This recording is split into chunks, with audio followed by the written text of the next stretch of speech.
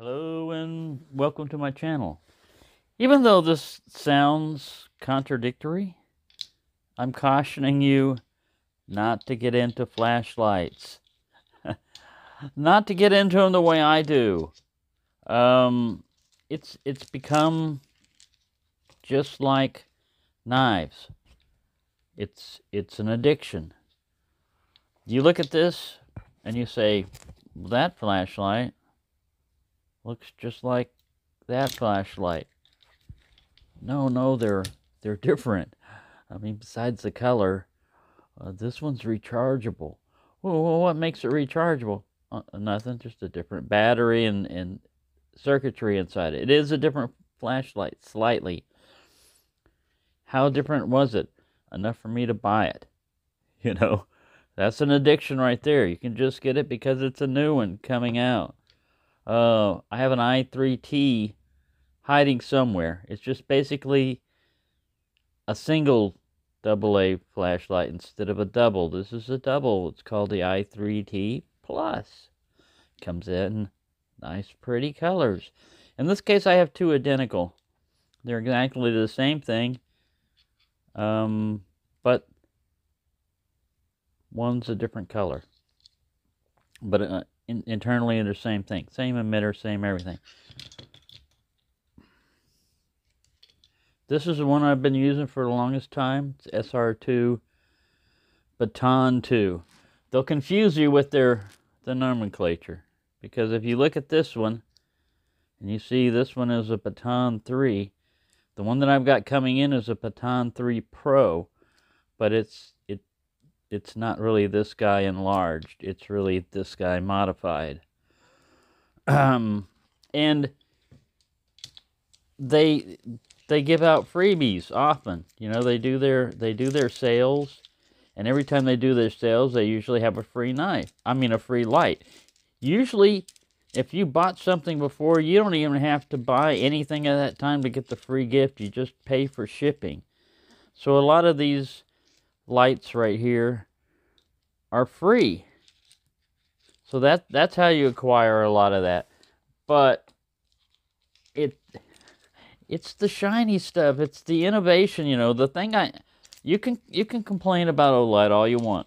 I know there are there are Olight haters out there and everything else. My thought is that um yeah, they have problems. Like when they introduced the Baton 3 Pro when it first came out, they had uh, a proximity sensor that, uh, in theory, the proximity sensor is supposed to prevent you from putting this light on turbo. Oh, sorry, I got to do turbo. Putting it on the hottest, you can feel the heat right there. If that's on and that's in your pocket, ow, that's going to burn you. Or if it's set down here, it's going to burn. And with no proximity sensor, you don't know that light's on. You don't, you don't get a lot of spill with it. One, one thing to avoid, one way to avoid that would have been to make something clear around the bezel here every so often, so that if you did set it down, it might still shine the light off. I don't know how many of them were from setting it down on the face or just turning on accidentally in the pocket. they have a, a an automatic shut-off feature, which is if you hold it down continuously, it'll go into moonlight mode and then it'll blink at you. I don't know if you saw that, but when you go to press the button, you'll just get a red flash. See that? Uh, yeah, I got the light in the camera. You just get a red flash and the light won't come on. To turn it on, you hold it, and then it'll go back into moonlight mode, and then you can cycle through. It is kind of a pain in the butt because if you wanted to lock it out, but you want the light to turn with it just coming on automatically and coming on with a, a really usable light, the only way this one's going to work in lockout mode is when you turn it on, it's going to come into moonlight mode. Now, yeah, you can you can cycle through the let's see where we're in lockout. You hold it down and you're coming in moonlight. As long as your butt your finger's held down on that button, you're you're in moonlight. You have to pull your finger off, push it again, and then cycle through. It's it's no big deal. It's a matter of seconds and stuff. But I, I mean, that's just one of the annoying features of uh, trying to prevent. Nothing can be made perfectly safe. Uh, they're trying to make things safe, but um, if you're having an issue with that, then this button might be, you know, part of the cause. So with the new one that's coming in, I don't have it yet, but they're they're going to be sending it because I bought, you know, a Baton 3 Pro. Instead of this button being small and raised up like that, it's down and wider. So it's harder to hit from the side and momentarily turn on. What are they doing? They're improving. I mean, they're, they're coming in, they're trying new stuff. And with the new proximity sensor, the problem with it is that at a certain distance, the light would automatically dim. And how is it doing that? Well, it has to be something optically, the reflection back into the lens. And uh, that could mean all it could take is one bird dropping or uh, fog or anything else like this to give it an uneven reflection. Something, I don't know what all's going on, but something's wrong with the sensor. And so they recall the product, but they did, they also offered a replacement, and usually they'll give a person a free light, you know, as appreciation for their, you know, their their screw up. So they're trying to improve the product. Now the Baton 3 Pro comes with the proximity sensor disabled.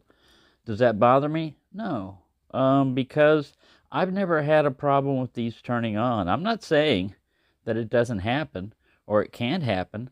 I've never had a problem with that. I've never had a problem with this one either, turning it on like that, because I don't set my lights down, bezel down. I'll set it up like this if I'm going to set a light down. It's just a matter of you can overcome what these what these things are trying to overcome um, through technology by just using different practices. You know, like if the light's coming, it's annoying. But if the light seems to be coming on when it's going to put it in lockout mode. Yeah, you know, if you don't like that, then get a tail switch operated one. You know, give up on that particular design and get one that operates by a tail switch. Now, one guy, one guy was saying that he didn't like uh, the i3 or the i3T Plus or the i5. I don't remember which one it was because he said this but that would come on in his pocket. This button, man, I estimated it, and then I actually measured it. I, I went ahead and I got on a scale and I put it in pounds and I just started pushing down. And I read what the reading was when it came on momentarily, and I read what it did to click the switch. To come on momentarily, it took two and a half pounds of direct pressure on that switch. To turn it on completely to low mode, it comes on at four pounds of pressure. You have to have four pounds directly pushing on this thing to get it to click. Now, if this is in your body and up to next to you, I, I just don't see how this thing could go into high mode and with these other ones, they don't get super hot. The i3T and the i5R Plus, they don't they don't get as hot. I can sit there, you know, do this. It's not going to burn me all day long. You can see the veins. Look at that, the veins. Um, but anyway, it's an addiction. It's just like uh, Nick Shabazz says, don't get into watches, you know, because I, I'm not saying don't have a flashlight. It's just don't get carried. Try not to get carried away with them. This is par- partially a video for you and partially a video for myself. You know, it's like saying, stop this.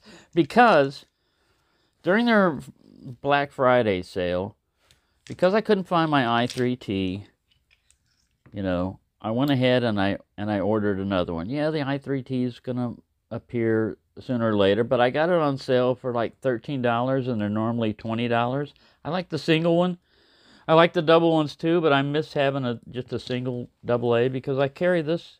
I mean triple A because I carry this one all the time. It's pretty good. I like it. It provides enough light. Yeah, they got proprietary batteries, but you can drop anything in this thing and it'll run.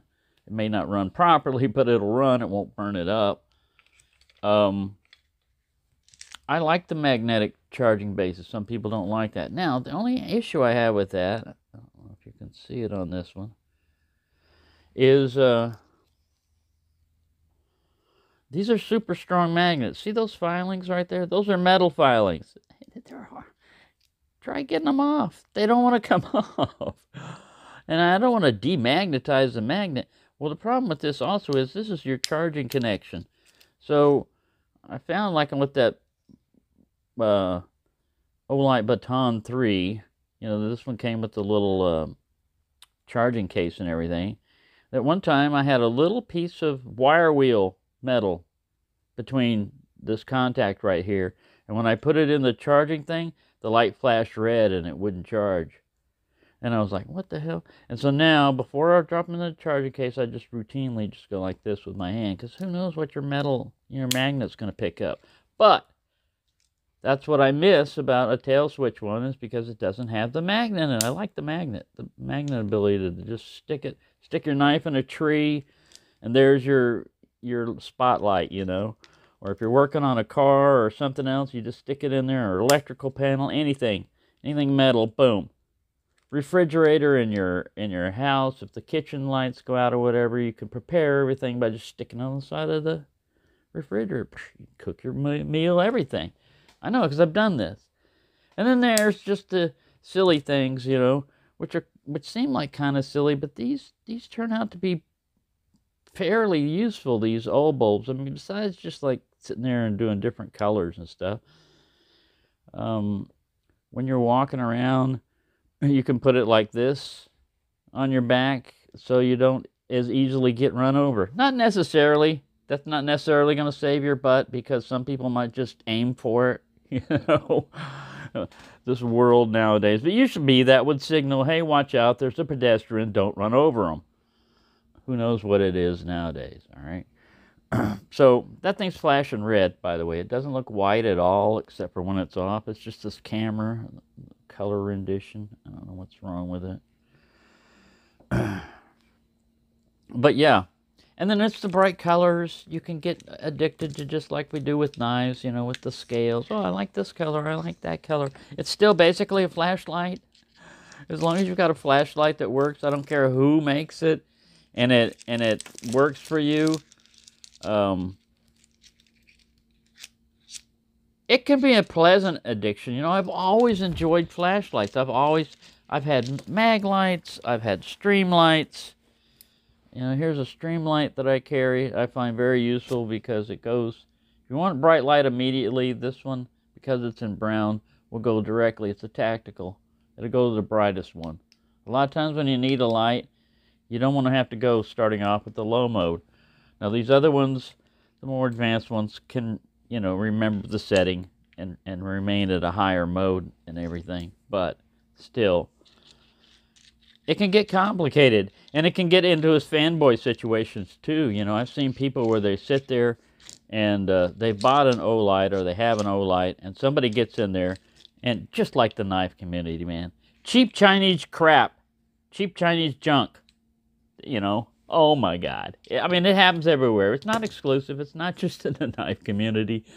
I'm sure it's in any other community where people collect things that used to be made in their country or other countries and now it's all made in China. So you're going to you're to run into that. And you'll have people trying to defend, you know, the company and everything else. Um, so, yeah.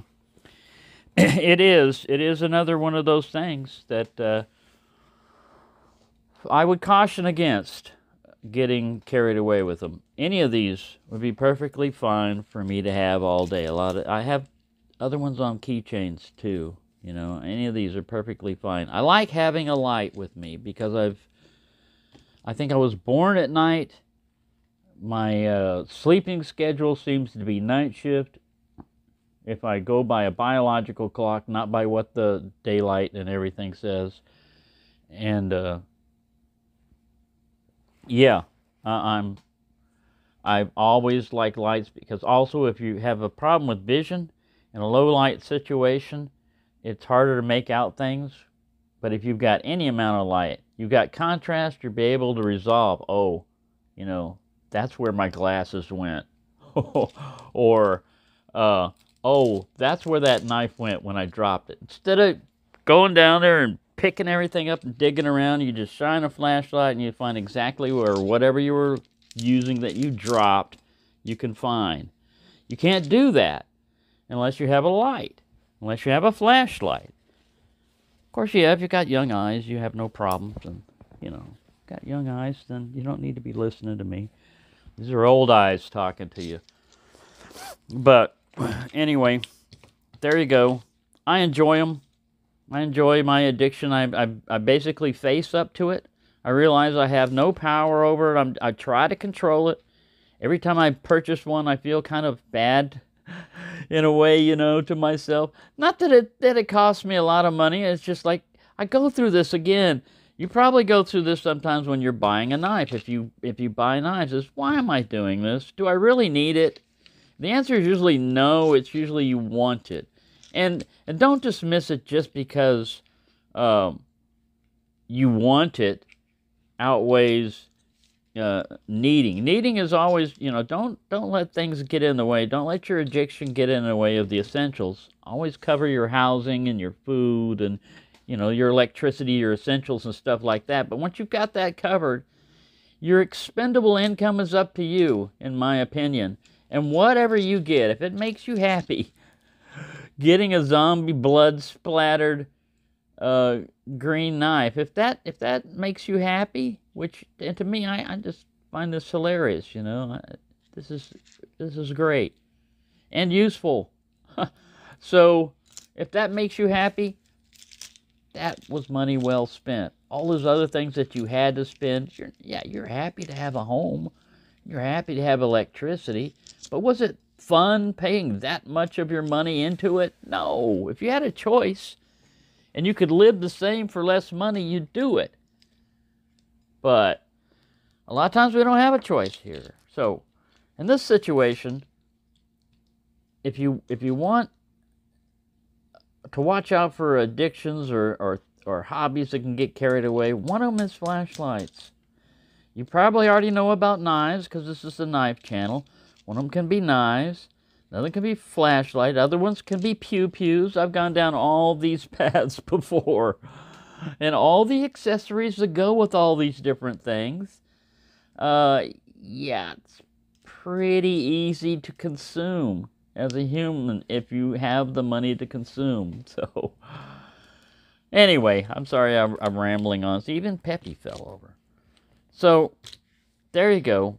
What's my favorite flashlight? Well, it's it keeps changing. Like I said, I carry I carry the i5R. I like it a lot. I carry too many flashlights on me. I'm usually carrying that one. I'm usually carrying a Baton 3. I'm usually carrying the Streamlight also on me. Every pocket I reach into usually has a flashlight. And I'm up during the day most of the time. And I have this glow in the dark tape on it too in case I drop it and my eyes can see in the dark where my flashlight is. There you go. This has kind of been a ramble. No knives were involved, and no dinosaurs were hurt in the making of this video. Thank you for watching, and have a nice day.